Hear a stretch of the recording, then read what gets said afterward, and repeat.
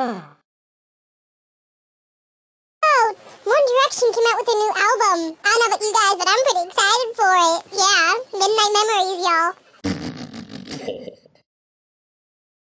1D is awesome but lame, and that's all I have to say. And before I punch Cassie in the face, I'd like to say a few messages.